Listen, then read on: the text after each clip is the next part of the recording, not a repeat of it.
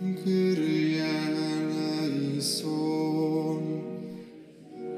17 maja wspominamy świętego Piotra Liu Wenyan, męczennika.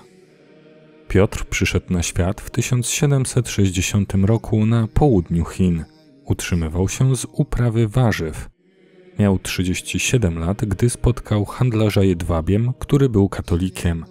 Zafascynowało go życie Pana Jezusa i nauka, którą głosił.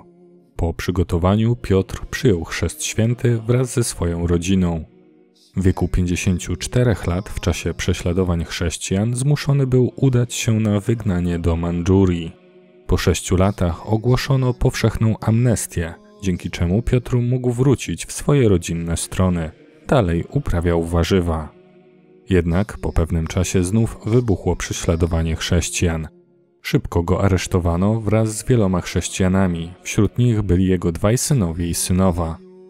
Piotr torturami zmuszany był do wyparcia się wiary, jednak wytrwał. Miał 74 lata, gdy 17 maja 1834 roku został stracony przez uduszenie za to, że wiernie trwał w nauce Pana Jezusa. Módlmy się. Wszechmogący Boże, dla chwały swojego Kościoła dałeś zwycięstwo w męczeństwie świętemu Piotrowi, który upodobnił się do Chrystusa w jego męce i śmierci. Spraw, abyśmy wstępując w ślady męczennika osiągnęli radość wieczną. Przez naszego Pana, Jezusa Chrystusa, Twojego Syna, który z Tobą żyje i króluje w jedności Ducha Świętego, Bóg przez wszystkie wieki wieków. Amen.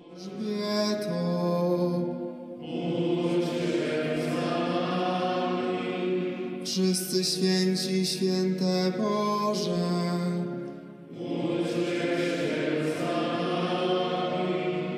Bądź nami.